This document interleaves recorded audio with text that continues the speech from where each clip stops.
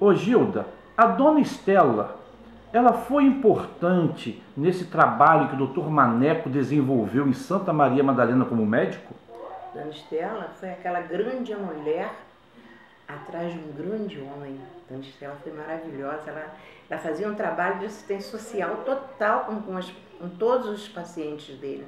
Além de ter sido uma professora exímia, maravilhosa, da qual eu herdei a capacidade de ensinar geografia.